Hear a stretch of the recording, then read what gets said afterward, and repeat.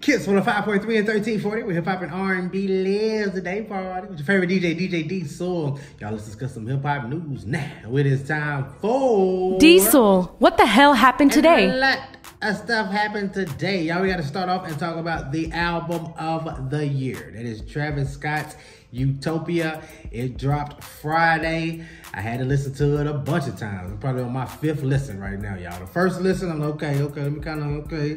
The second one, I get you now, Travis. I, I feel you now. The third one, I hear you loud and clear.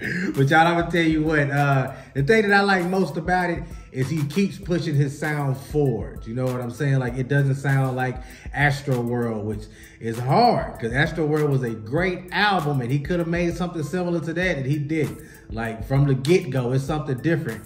It is heavily influenced from Kanye West. A lot of people have been saying that this is Yeezus 2 or another Donda. That's what people have been saying. But uh, he's influenced by Kanye West a lot from production to even some of the ways that he flow on some songs are definitely Kanye West, but he looks to have the biggest hip hop album of the year by far.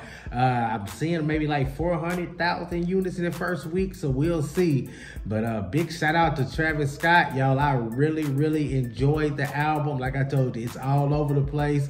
Uh, he got production from everybody. He got features from everybody, and uh, he put he got a lot of help to put together this project, and I'm rocking with it heavy. And I think it is the best hip hop album of this year. Y'all let me know what you think about that. Y'all, did I go too far? Or am I right? Let me know. Y'all, some other projects dropped Friday as well. That Mexican OT, he dropped a new project that I like a lot. Uh, the Lone Star Luchador, one time for that Mexican OT, he doing his thing straight up. He blowing up. Post Malone dropped a project that was just okay. I ran it back twice. I'm like, that's all you doing now, Posty? Like, nobody was talking about the project. I just can't believe that he didn't fail that far. But, uh, he got one song with that called Speedometer that I like, but that's it. Let me see. Uh, y'all, Bia, she dropped a new project. Offset and Cardi B dropped a single. But Offset, man, I'm gonna tell you what, people ain't talking enough about that verse. But the name of the song is Jealousy. Offset is flowing on that thing, man. I gotta give Offset credit. He doing this thing on that one song. And y'all just gotta give a big shout out to Gucci Mane. He dropped a new song called Wappenheimer.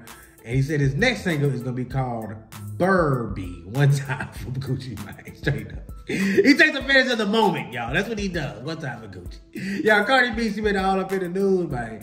Uh, she throw two mics in the last week. She threw a mic at a DJ. The DJ was doing too much.